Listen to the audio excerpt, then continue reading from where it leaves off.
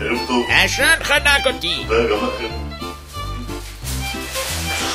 מה שהרמתי בובי היום, פקקים במחלף גינות סחר. זה לא בסדר, מוטי, אתה כל הזמן עושה את זה. תראה, אני הבאתי אה, שיבוטרים, הבאתי במבר, מרשמלור, איפה הבטטות? אוי, שכחתי. אתה חתיכת שקרן, אתה יודע את זה? סליחה, מוטי, אנחנו באורד בלי המילה הזאת. צודק, צודק, זה מאחורינו, מאחורינו.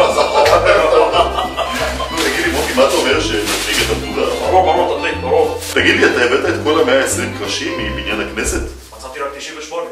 אה, בסדר, זה לא בסדר, גם מספיק. לא רע. אה, אגב, זה בשבילך. אוי, תודה רבה. יש לי עוד מדינה לנהל, אה? מה זאת אומרת לך יש מדינה לנהל? לנו יש מדינה לנהל. כן, כן, כמובן, לנו יש מדינה, ברור, מה זאת אומרת? זה ברור שלנו חי בסרט. וואלה, אני שמעתי את זה, אתה חתיכת שקרן, אתה יודע? היי, למה אתה אומר את זה שוב? אמרנו בלי זה. צודק,